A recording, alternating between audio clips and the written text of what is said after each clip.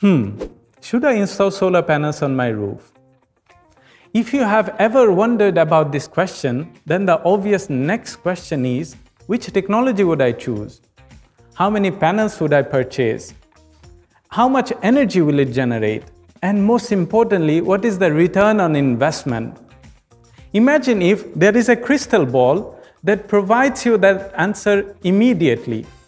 That would be great, don't you think so?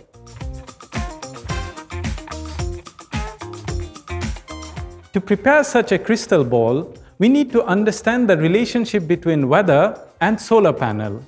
On that note, did you know that solar panel reacts to weather very similarly as us? Isn't that intriguing? We react to all sorts of weather conditions. Oddly enough, solar panels react to all those weather conditions in a similar fashion. For example, when it is sunny, we feel happy and energized. On the other hand, when there is too much sunshine, we feel exhausted with reduced efficiency. However, the degree of this reaction is not exactly the same.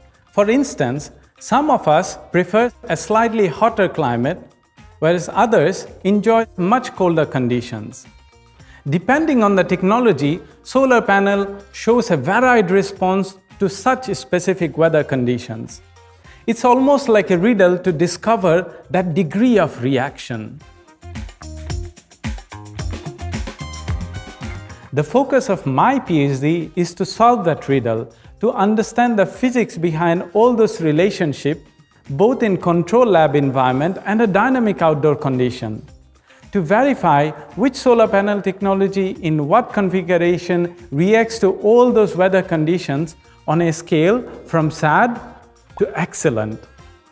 Then these physics-based understanding needs to be translated into a usable software format so that you can have that crystal ball to tell you which solar panel technology to invest in and what configuration provides you with a maximal output based on the weather conditions on the place where you live in.